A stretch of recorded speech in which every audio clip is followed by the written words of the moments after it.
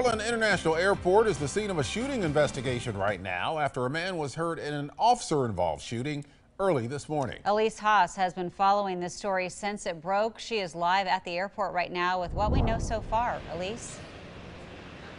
Yes, Ken and Jenny. So we just talked to Port of Portland Police for the latest update. And the biggest piece of information that we learned is it was actually the suspect's gun that went off this morning, not the police officer. So you can see here at the arrivals area, it's still blocked off. And it has actually been this way since 5 o'clock this morning. Can you head down? I'm not sure which direction he's running. He was at Carousel 8. Around 5 in the morning Friday, a Port of Portland police officer contacted a man at the baggage claim at Portland International Airport. During that interaction, police say the man showed a firearm.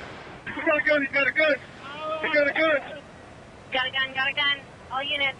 An airport employee told KOIN 6 he witnessed a struggle start near baggage claim 8.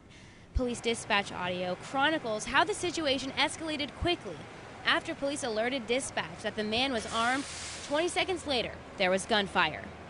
Shots fired, shots fired. Shots fired, shots fired. During the struggle, a shot was fired by the involved suspect. The officer did not fire his firearm.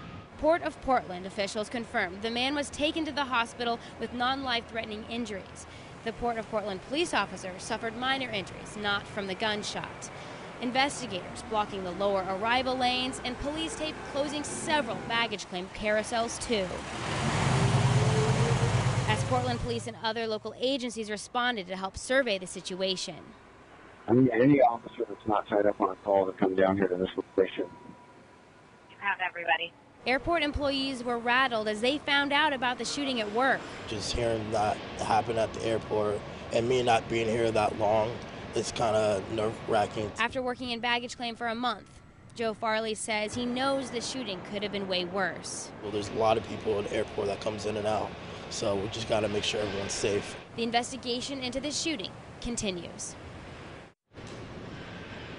And police believe that they recovered what was the man's firearm. And even with this shooting investigation going on, the airport is still open and operational. Obviously, this part of the arrivals area is closed off to private cars. But if you look over this way, you can see that the shuttle buses, the Uber and Lyft and rideshare and taxis are all open still. Uh, the only other thing that is closed again is those uh, carousels in there for baggage claim. But so far, things, I guess, have been going as well as they can considering the situation. So we'll continue to follow this shooting, and we'll bring you the latest on air and online. But for now, we're reporting live at PDX, Elise Haas, KOIN 6 News.